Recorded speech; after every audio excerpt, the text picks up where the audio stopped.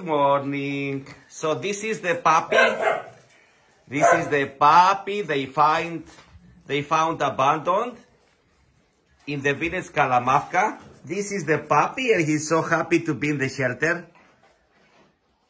He has white socks. He's a puppy about uh, three months old.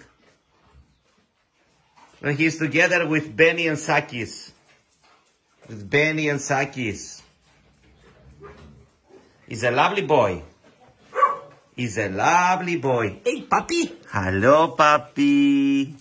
Hello, puppy. You are so happy to be here. Yeah? He has a happy tail. So this is the new puppy. He's eating a lot, drinking a lot. He's eating dry food, wet food, everything.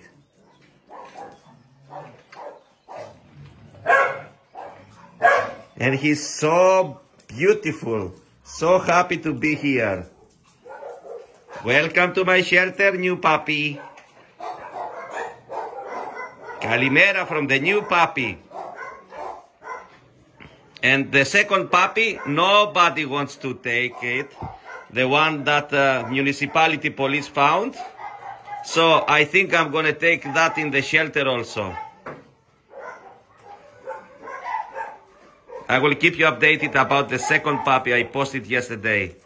The municipality police found. This one is so happy here. Yeah, happy puppy and safe, yeah? Bravo, puppy.